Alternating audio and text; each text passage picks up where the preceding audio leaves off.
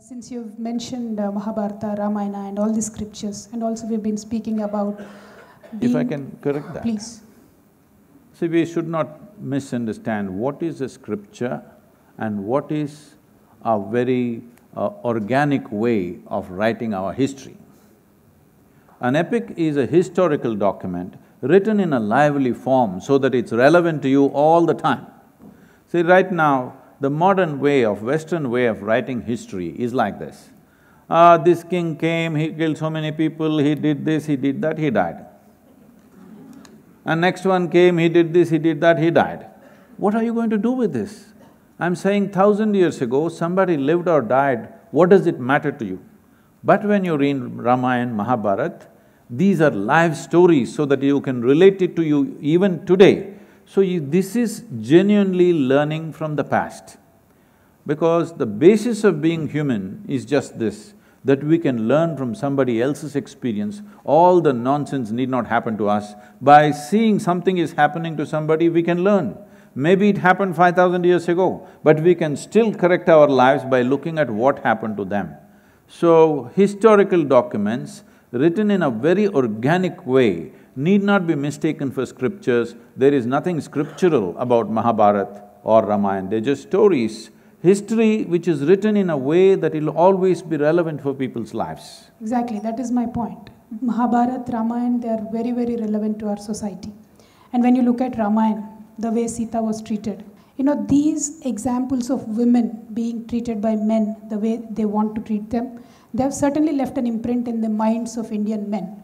There's no doubt about that. Since you said these are the learnings that we take from the past, and we have, we have uh, dramatized them, put them in a very good way, and our grandfathers recite these poems, and these are day, day-to-day household stories. So my question to you, Sadhguruji, is, you know, when you have a, when you have to learn from these things, when you have been learning from these things from generations, Ramayana, Mahabharata, and many more stories, how do we expect the current Indian man to not treat his wife like Sita or not treat his wife like Draupadi?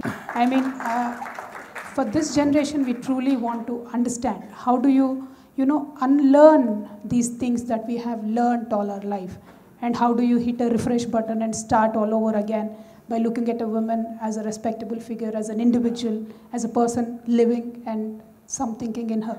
How do we, you know, how do we teach this to our children? That is what I want to learn from. Let me ask the ladies, uh, would they like to be treated like Sita? Let me put it in the right perspective. Suppose, suppose you were living in Uttar Pradesh, hmm? not today, five thousand years ago, and a man came from Sri Lanka and kidnapped you. Would you like a man who will walk all the way to Sri Lanka to find you, or find a practical solution locally, because anyway he was king? I'm asking, I'm asking you, what kind of man do you want in your life? The man walked all the way, fought a battle, burned down a city to get back his wife. It's not a small thing. But then he again gave her an Agni Pariksha, you know, he didn't trust his Uh, wife. See, so, but I mean, we are… we are taking these words literally. Agni Pariksha did not mean somebody has to enter the fire. It meant she was put through some test. Of course, because you're the king, everybody is looking at you as an ideal. How you behave, what you do is very important because the entire nation's life depends on you. Today, our biggest problem is this in the country. This is the Dhritarashtra syndrome from then to now, okay? So, he is setting an example in those days.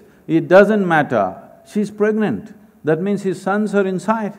For a king, his sons are important because it's an empire. But in spite of that, he sends her to the jungle because otherwise there's disruption in the country. You seeing this as a negative thing? I think we need such prime ministers and uh, leaders in this country, no matter what, for the well-being of the nation, they will do what is needed.